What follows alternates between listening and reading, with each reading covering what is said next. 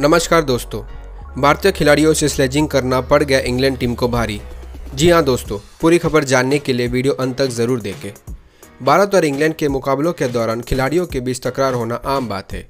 Ten बीस test में Mohammad Siraj England के खिलाड़ियों से उलझते नज़र आए। दरअसल सिराज आज अपनी लय में लग रहे थे और काफ़ी ज़्यादा एग्रेसिव तरीके से बॉलिंग कर रहे थे। उन्होंने इंग्लैंड के बैट्समैन को काफ़ी ज़्यादा तंग किया। भारत को पहली सफलता भी मोहम्मद सिराज ने ही दिलाई। मोहम्मद सिराज आज शानदार लय में और बेहद एग्रेसिव नज़र आ रहे थे। दोस्तों, इसी बीच मोहम्मद सिराज और सैम करन के बीच ज़बरदस्त मुकाबला देखने को मिला। सैम करन ने मोहम्मद सिराज को छेड़ने की कोशिश की, जिसका सिराज ने शानदार तरीके से जवाब दिया।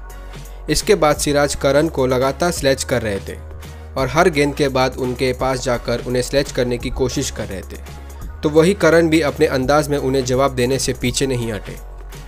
सिराज उन्हें लगातार बाउंसर डाल रहे थे, जिससे करण ठीक से खेल नहीं पाए। दोनों के बीच यह मुकाबला देखने लायक था। इसी बीच बुमराह ने भी शानदार बॉलिंग कर अपने नाम पाँच विकेट हासिल कर ली। इंग्लैंड की दूसरी पारी 303 रन पर सिमट गई और भारत को 208 का लक्ष्य दिया गया है। दोस्तों, क्या टीम इंडिया यह मैच जीत पाएगी? कमेंट कर ज़रूर बताइएगा। और अगर वीडियो पसंद आए तो वीडियो को एक लाइक और चैनल को सब्सक्राइब ज़रूर करें। धन्यवाद।